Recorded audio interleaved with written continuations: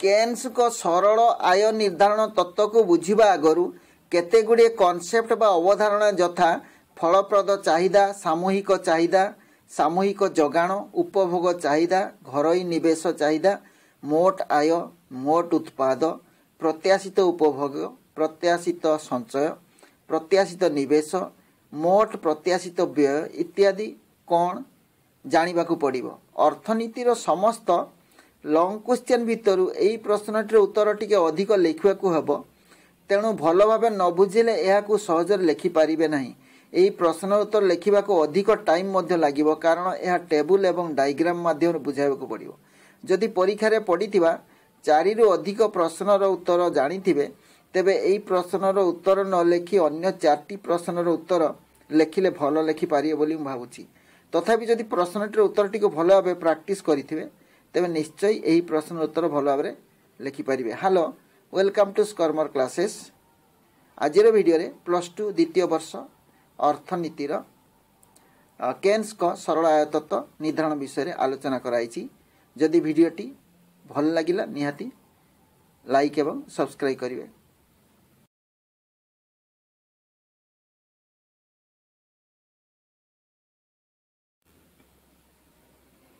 କେନ୍ସଙ୍କ ସରଳ ଆୟ ନିର୍ଦ୍ଧାରଣ ତତ୍ତ୍ୱ ବ୍ୟାଖ୍ୟା କର।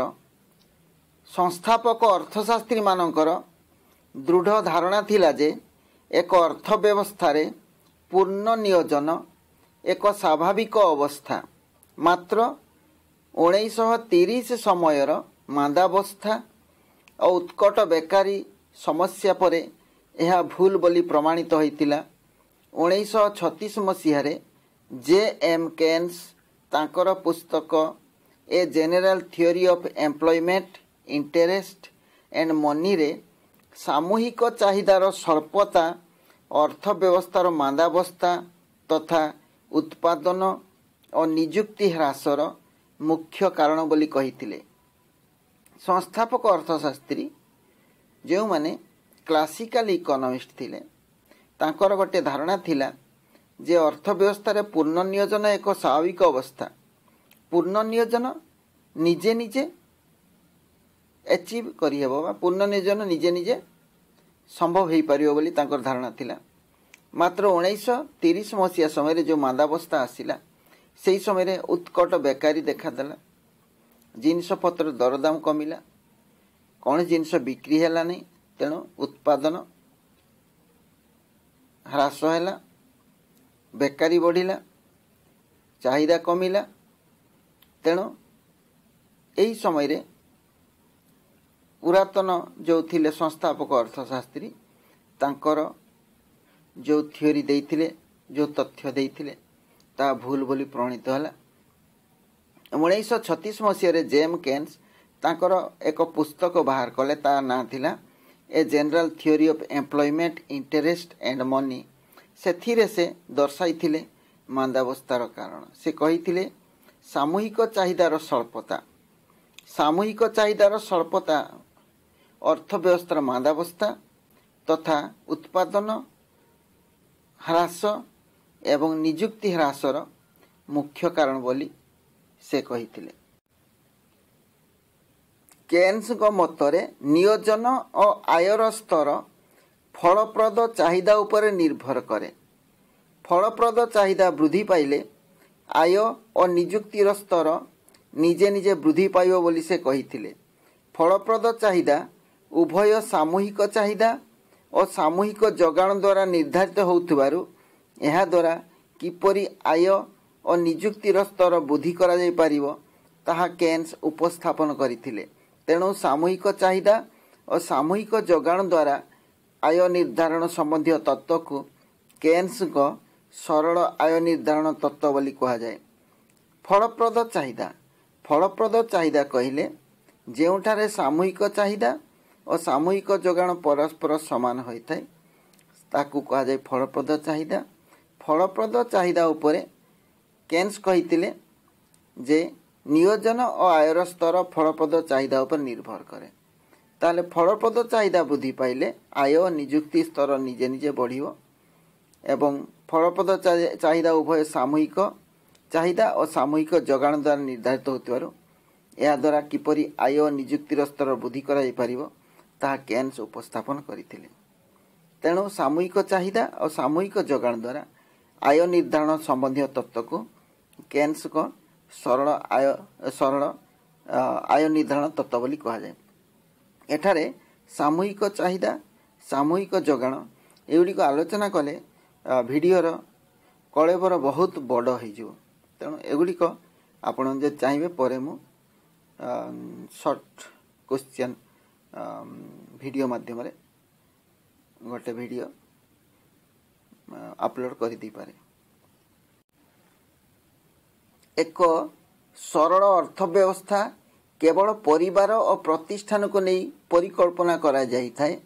ଏକ ସରଳ ଅର୍ଥ ବ୍ୟବସ୍ଥାରେ କେବଳ ଉପଭୋଗ ଚାହିଦା ଓ ଘରୋଇ ନିବେଶ ଚାହିଦାର ସମଷ୍ଟିକୁ ସାମୂହିକ ଚାହିଦା କୁହାଯାଏ। ଏକ ସରଳ ଅର୍ଥ ବ୍ୟବସ୍ଥା କେବଳ ପରିବାର ପ୍ରତିଷ୍ଠାନକୁ ନେଇ ଗଠିତ ବୋଲି କଳ୍ପନା କରାଯାଏ। ପ୍ରକୃତରେ ଆଧୁନିକ ଯୁଗରେ ଅର୍ଥ ବ୍ୟବସ୍ଥା କହିଲେ ଚାରିଟି ଉପାଦାନ ନେଇଥାଏ।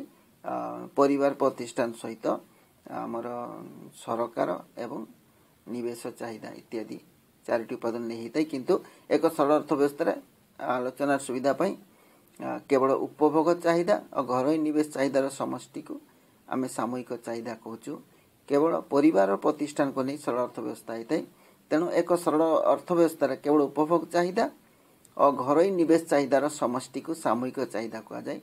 ସାମୂହିକ ଚାହିଦା ଓ ସାମୂହିକ ଯୋଗାଣର ପାରସ୍ପରିକ କ୍ରିୟା ମାଧ୍ୟମରେ କିପରି ସନ୍ତୁଳିତ ଆୟ ନିର୍ଦ୍ଧାରଣ କରାଯାଏ ତାହା ସାରଣୀ ମାଧ୍ୟମରେ ଆଲୋଚନା କରାଯାଇଛି। ସାରଣୀରେ ନମ୍ବର ୱାନ୍ କଲମରେ ମୋଟ ଆୟ ବା ଉତ୍ପାଦ ୱାଇ ସମାନ ସି ପ୍ଲସ୍ ଏସ୍କୁ ନିଆଯାଇଛି।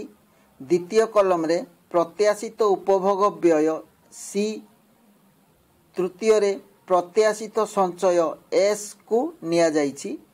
ନମ୍ବର ଫୋର୍ କଲମରେ ପ୍ରତ୍ୟାଶିତ ନିବେଶ ଆଇ ନମ୍ବର ଫାଇଭରେ ମୋଟ ପ୍ରତ୍ୟାଶିତ ବ୍ୟୟ ସି ପ୍ଲସ୍ ଆଇକୁ ଏବଂ ନମ୍ବର ସିକ୍ସରେ ଆୟର ପରିବର୍ତ୍ତନକୁ ନିଆଯାଇଛି ପ୍ରତ୍ୟେକକୁ କୋଟି ଟଙ୍କାରେ ହିସାବ ନିଆଯାଇଛି ସାରଣୀ ଅନୁସାରେ ଜାତୀୟ ଆୟର ପରିମାଣ ପାଞ୍ଚଶହ କୋଟି ହେଉଥିବା ବେଳେ ମୋଟ ଉତ୍ପାଦ ସି ପ୍ଲସ୍ ଏସ୍ ଓ ମୋଟ ପ୍ରତ୍ୟାଶିତ ବ୍ୟୟ ସି ପ୍ଲସ୍ ଆଇ ଉଭୟ ପାଞ୍ଚଶହ କୋଟି ଅର୍ଥାତ୍ ସମାନ ହୋଇଥାଏ ଏବଂ ପ୍ରତ୍ୟାଶିତ ସଞ୍ଚୟ ଏସ୍ ଓ ପ୍ରତ୍ୟାଶିତ ନିବେଶ ଆଇ ପ୍ରତ୍ୟେକ କୋଡ଼ିଏ କୋଟି ବା ଉଭୟ ସମାନ ହୋଇଥାଏ।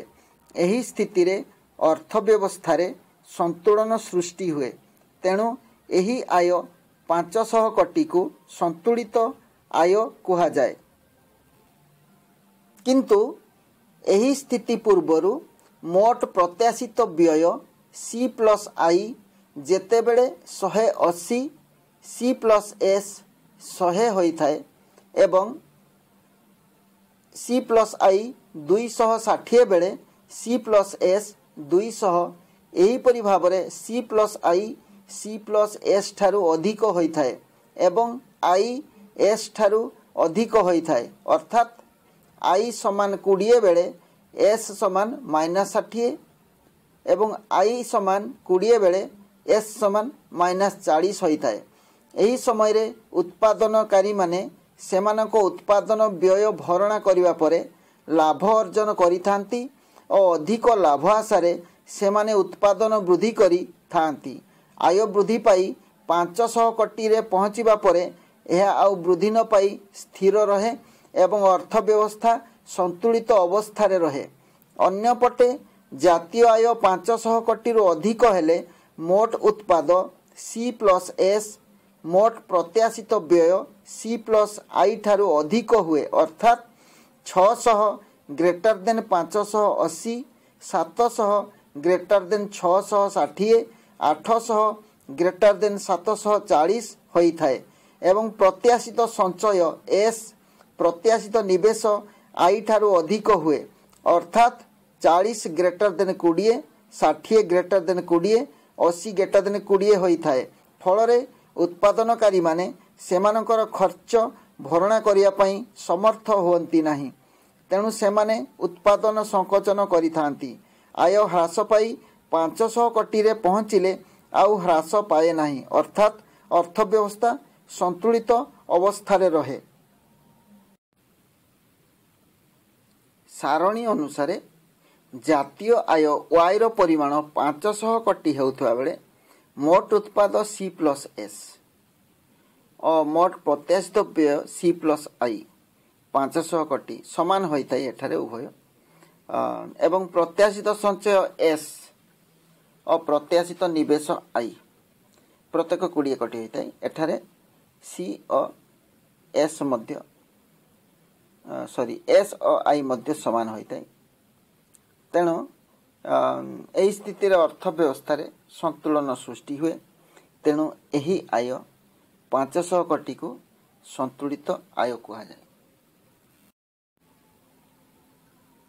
କିନ୍ତୁ ଏହି ସ୍ଥିତି ପୂର୍ବରୁ ମୋଟ ପ୍ରତ୍ୟାଶିତ ବ୍ୟୟ ସି ପ୍ଲସ୍ ଆଇ ମୋଟ ଉତ୍ପାଦ ସି ପ୍ଲସ୍ ଏସ୍ ଠାରୁ ଅଥବା ପ୍ରତ୍ୟାଶିତ ନିବେଶ ଆଇ ପ୍ରତ୍ୟାଶିତ ସଞ୍ଚୟ ଏସ୍ ଠାରୁ ବେଶୀ ହୁଏ ଏହି ସମୟରେ ଉତ୍ପାଦନକାରୀମାନେ ସେମାନଙ୍କର ଉତ୍ପାଦନ ବ୍ୟୟ ଭରଣା କରିବା ପରେ ଲାଭ ଅର୍ଜନ କରିଥାନ୍ତି ଓ ଅଧିକ ଲାଭ ଆଶାରେ ସେମାନେ ଉତ୍ପାଦନ ପ୍ରସାରଣ ଘଟାଇଥାନ୍ତି ଆୟ ବୃଦ୍ଧି ପାଇ ପାଞ୍ଚଶହ କୋଟି ଟଙ୍କା ପହଞ୍ଚିବା ପରେ ଏହା ଆଉ ବୃଦ୍ଧି ନ ପାଇ ସ୍ଥିର ରହେ ଏବଂ ଅର୍ଥ ବ୍ୟବସ୍ଥା ସନ୍ତୁଳିତ ଅବସ୍ଥାରେ ରହେ। ପାଞ୍ଚଶହ କୋଟି ସି ସି ପ୍ଲସ୍ ଏସ୍ ପାଞ୍ଚଶହ ଏବଂ ସି ପ୍ଲସ୍ ଆଇ ଯେତେବେଳେ ପାଞ୍ଚଶହ କୋଟି ହୁଏ ସେତେବେଳେ ସନ୍ତୁଳନ ଅବସ୍ଥା ପ୍ରାପ୍ତ ହୁଏ କିନ୍ତୁ ତା ପୂର୍ବରୁ ସି ପ୍ଲସ୍ ଏସ୍ ଠାରୁ ସି ପ୍ଲସ୍ ଆଇ ବେଶୀ ହୁଏ ସି ପ୍ଲସ୍ ଏସ୍ ଠାରୁ ସି ପ୍ଲସ୍ ଆଇ ବେଶୀ ହୋଇଥାଏ ତେଣୁ ଉତ୍ପାଦନକାରୀମାନେ ସେମାନେ ସେମାନଙ୍କର ଉତ୍ପାଦନ ଭରଣା କରିବା ପରେ ଲାଭ ଅର୍ଜନ କରିଥାନ୍ତି। ତେଣୁ ଅଧିକ ଲାଭ ଆଶାରେ ସେମାନେ ଉତ୍ପାଦନ ପୋଷଣ ଘଟାଇଥାନ୍ତି ଏବଂ ଆୟ ବୃଦ୍ଧି ପାଇ ପାଞ୍ଚଶହ କୋଟି ହେଲା ବେଳକୁ ଏହା ସନ୍ତୁଳିତ ଅବସ୍ଥାରେ ରହିଥାଏ। ଅନ୍ୟ ପକ୍ଷରେ ଜାତୀୟ ଆୟ ୱାଇ ପାଞ୍ଚଶହ କୋଟିରୁ ଅଧିକ ହେଲେ ମୋଟ ଉତ୍ପାଦ ସି ପ୍ଲସ୍ ଏସ୍ ମୋଟ ପ୍ରତ୍ୟାଶିତ ସି ପ୍ଲସ୍ ଆଇ ଠାରୁ ଅଥବା ପ୍ରତ୍ୟାଶିତ ସଞ୍ଚୟ ଏସ୍ ପ୍ରତ୍ୟାଶିତ ସଞ୍ଚୟ ଏସ୍ ପ୍ରତ୍ୟାଶିତ ନିବେଶ ଆଇ ଠାରୁ ଅଧିକ ହୁଏ ଫଳରେ ଉତ୍ପାଦନକାରୀମାନେ ସେମାନଙ୍କର ଖର୍ଚ୍ଚ ଭରଣା କରିବା ପାଇଁ ସମର୍ଥ ହୁଅନ୍ତି ନାହିଁ। ତେଣୁ ସେମାନେ ଉତ୍ପାଦନ ସଂକୋଚନ କରାଇଥାନ୍ତି। ଆୟ ହ୍ରାସ ପାଇ ପାଞ୍ଚଶହ କୋଟି ଟଙ୍କାରେ ପହଞ୍ଚିଲେ ଆଉ ହ୍ରାସ ପାଏ ନାହିଁ। ଅର୍ଥାତ୍ ଅର୍ଥ ବ୍ୟବସ୍ଥା ସନ୍ତୁଳିତ ଅବସ୍ଥାରେ ରହେ। ଜାତୀୟ ଆୟ ପାଞ୍ଚଶହ କୋଟିରୁ ଅଧିକ ହେଲେ। ପ୍ରତ୍ୟାଶିତ ବ୍ୟୟ C plus I C plus S ମୋଟ ଉତ୍ପାଦ ସି ପ୍ଲସ୍ ଏସ୍ ମୋଟ ପ୍ରତ୍ୟାଶିତ ବ୍ୟୟ ସି ପ୍ଲସ୍ ଆଇ ଠାରୁ ଅର୍ଥାତ୍ ପ୍ରତ୍ୟାଶିତ ସଞ୍ଚୟ ଏସ୍ ପ୍ରତ୍ୟାଶିତ ନିବେଶ ଆଇ ଠାରୁ ଅଧିକ ହୁଏ। ଫଳରେ ଉତ୍ପାଦନକାରୀମାନେ ସେମାନଙ୍କର ଖର୍ଚ୍ଚ ଭରଣା କରିବା ପାଇଁ ସମର୍ଥ ହୁଅନ୍ତି ନାହିଁ। ତେଣୁ ସେମାନେ ଉତ୍ପାଦନ ସଂକୋଚନ କରାଇଥାନ୍ତି। ଯେତେବେଳେ ସଞ୍ଚୟ ଅଧିକା ହୁଏ ସେତେବେଳେ ଉପଭୋଗ ପାଇଁ ଆବଶ୍ୟକ ଉପଭୋଗ ବା ଆବଶ୍ୟକ ଚାହିଦା ହୋଇପାରେନି। ତେଣୁ ଉତ୍ପାଦନକାରୀମାନେ ଉତ୍ପାଦନ ସଂକୋଚନ କରନ୍ତି। ଆୟ ହ୍ରାସ ପାଇ ପାଞ୍ଚଶହ କୋଟିରେ ସନ୍ତୁଳିତ ଅବସ୍ଥା ରୁହେ। ତାପରେ ଆଉ ହ୍ରାସ ପାଏ ନାହିଁ ଲେଖଚିତ୍ର ମାଧ୍ୟମରେ ବ୍ୟାଖ୍ୟା। ଚିତ୍ରରେ ଦେଖିବା ଚିତ୍ର ଏ ଓ ବିର ଓ ଏକ୍ସ ଅକ୍ଷରେ ଆୟ ସୂଚିତ ହୋଇଛି ଚିତ୍ର ଏର ଓ ଆଇ ଅକ୍ଷ ଉପଭୋଗ ଓ ନିବେଶ ବ୍ୟୟ। ଓ ଆଇ ଅକ୍ଷରେ ଉପଭୋଗ ଓ ନିବେଶ ବ୍ୟୟକୁ ନିଆଯାଇଛି। ଏବଂ ଚିତ୍ର ବିର ଓ ଆଇ ଅକ୍ଷରେ ସଞ୍ଚୟ ନିବେଶ ପରିମାଣ ସୂଚିତ ହୋଇଛି। ଚିତ୍ର ଏରେ ପ୍ରତ୍ୟାଶିତ ମୋଟ ବ୍ୟୟ ରେଖା ସି ପ୍ଲସ୍ ଆଇ। ଚିତ୍ର ଏରେ ଦେଖିବା ପ୍ରତ୍ୟାଶିତ ମୋଟ ବ୍ୟୟ ରେଖା C plus I C plus I ହେଲା ପ୍ରତ୍ୟାଶିତ ମୋଟ ନିବେଶ ରେଖା ଅଜେଡ୍ ରେଖା ପଇଁଚାଳିଶ ଡିଗ୍ରୀ ବା ୱାଇ ସମାନ ସି ପ୍ଲସ୍ ଏସ୍ ୱାଇ ସମାନ ସି ପ୍ଲସ୍ ଏସ୍ ରେଖା ଇ ବିନ୍ଦୁରେ ଛେଦ କରନ୍ତି ସି ପ୍ଲସ୍ ଆଇ ଓ ସି ପ୍ଲସ୍ ଏସ୍ ପରସ୍ପରକୁ ଇ ବିନ୍ଦୁରେ ଛେଦ କରନ୍ତି।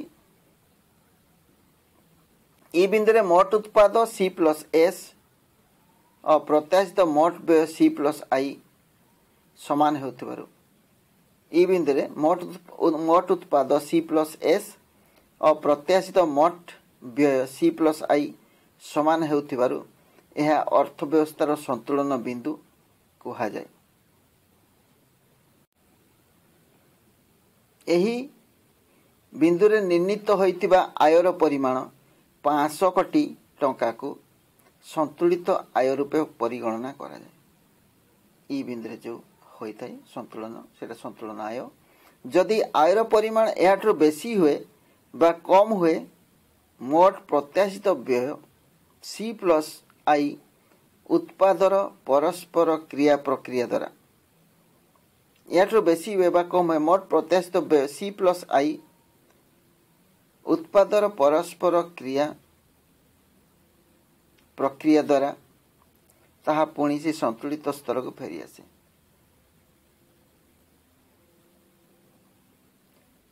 ଚିତ୍ର ବିରେ ପ୍ରତ୍ୟାଶିତ ସଞ୍ଚୟ ଏସ୍ ରେଖା ଏସ୍ ଏସ୍ ଓ ପ୍ରତ୍ୟାଶିତ ନିବେଶ ଆଇ ରେଖା ଆଇ ଆଇ ଇ ୱାନ୍ ବିନ୍ଦୁରେ ପରସ୍ପରକୁ ଛେଦ କରନ୍ତି ଇ ୱାନ୍ ବିନ୍ଦୁରେ ପ୍ରତ୍ୟାଶିତ ସଞ୍ଚୟ ଏସ୍ ଓ ପ୍ରତ୍ୟାଶିତ ନିବେଶ ଆଇ ପରସ୍ପର ସମାନ କୋଡ଼ିଏ କୋଟି ହୋଇଥିବାରୁ ଏହି ବିନ୍ଦୁକୁ ମଧ୍ୟ ସନ୍ତୁଳନ ବିନ୍ଦୁ କୁହାଯାଏ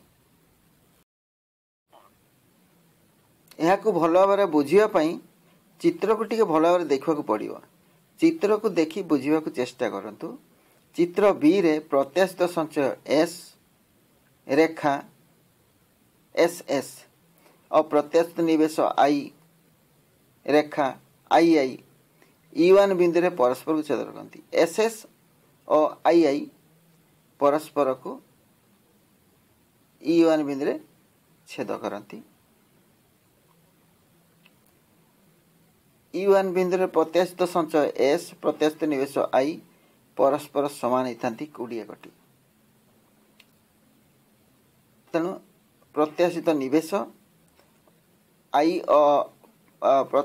ସରି ପ୍ରତ୍ୟାଶିତ ସଞ୍ଚୟ ଏସ୍ ଓ ପ୍ରତ୍ୟାଶିତ ନିବେଶ ଆଇ ପରସ୍ପର ସମାନ କୋଡ଼ିଏ କୋଟି ହୋଇଥିବାରୁ ଏହି ବିନ୍ଦୁକୁ ମଧ୍ୟ ସନ୍ତୁଳନ ବିନ୍ଦୁ କୁହାଯାଏ ଏଠାରେ ନିର୍ଣ୍ଣିତ ହୋଇଥିବା ଆୟର ପରିମାଣ ପାଞ୍ଚଶହ କୋଟି ଟଙ୍କା ସନ୍ତୁଳିତ ଆୟ ଅଟେ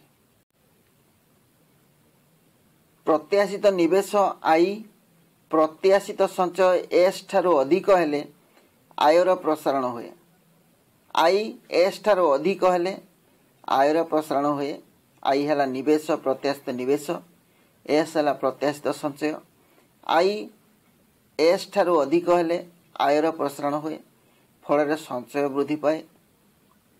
ସଞ୍ଚୟ ବୃଦ୍ଧି ପାଇ ଯେତେବେଳେ ନିବେଶ ସହ ସମାନ ହୁଏ ଅର୍ଥ ବ୍ୟବସ୍ଥା ଉଚ୍ଚ ଆୟ ସ୍ତରରେ ସନ୍ତୁଳିତ ଅବସ୍ଥାରେ ପୁନଃସ୍ଥାପିତ ହୁଏ। ସଞ୍ଚୟ ବୃଦ୍ଧି ପାଇ ଯେତେବେଳେ ନିବେଶ ସହ ସମାନ ହୁଏ ଅର୍ଥ ବ୍ୟବସ୍ଥା ଉଚ୍ଚ ଆୟ ସ୍ତରରେ ସନ୍ତୁଳିତ ଅବସ୍ଥାରେ ପୁନଃସ୍ଥାପିତ ହୁଏ ଅନ୍ୟପଟେ ପ୍ରତ୍ୟାଶିତ ସଞ୍ଚୟ ଏସ୍ ଅନ୍ୟପଟେ ପ୍ରତ୍ୟାଶିତ ସଞ୍ଚୟ ଏସ୍ ପ୍ରତ୍ୟାଶିତ ନିବେଶ ଆଇ ଠାରୁ ଅଧିକ ହେଲେ ଏସ୍ ଯଦି ଆଇ ଠାରୁ ଅଧିକ ହେବ ଆୟର ହ୍ରାସ ହେବ ଏସ୍ ସଞ୍ଚୟ ଯଦି ନିବେଶର ଅଧିକା ହୁଏ ଆୟ ହ୍ରାସ ପାଏ ଅଧିକ ସଞ୍ଚୟ ହେଲେ ଉପଭୋଗ କମିଯିବ।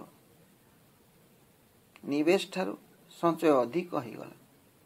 ତେଣୁ ଆଇ ଯାହା ନିବେଶ ତାହା ତେଣୁ ଉପଭୋଗ କମିଗଲେ ସଞ୍ଚୟ ସଞ୍ଚୟ ସଞ୍ଚୟ ବଢ଼ିଲେ ଉପଭୋଗ କମିଯିବ। ଫଳରେ ସଞ୍ଚୟ ହ୍ରାସ ପାଇବ ଲୋକଙ୍କ ରୋଜଗାର କମିଯିବ। ନିବେଶ କମିଲେ ଲୋକଙ୍କ ରୋଜଗାର କମିବ। ଫଳରେ ସଞ୍ଚୟ ହ୍ରାସ ହୁଏ। ସଞ୍ଚୟ ହ୍ରାସ ପାଇ ଯେତେବେଳେ ନିବେଶ ସହ ସମାନ ହୁଏ ସଞ୍ଚୟ ଧୀରେ ଧୀରେ କମିବ ପୁଣି ସିଏ ନିବେଶ ସହିତ ସମାନ ହେଇଯିବ। ଅର୍ଥବ୍ୟବସ୍ଥା ନିମ୍ନ ଆୟ ସ୍ତରରେ ସନ୍ତୁଳିତ ଅବସ୍ଥାରେ ପୁନଃସ୍ଥାପିତ ହୋଇଥାଏ।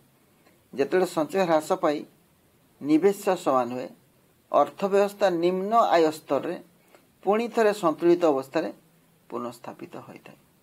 ଯଦି ଭିଡ଼ିଓଟି ପସନ୍ଦ ଲାଗିଲା ନିଶ୍ଚୟ ଲାଇକ୍ ଏବଂ ସବସ୍କ୍ରାଇବ୍ କରିବେ। Thanks for watching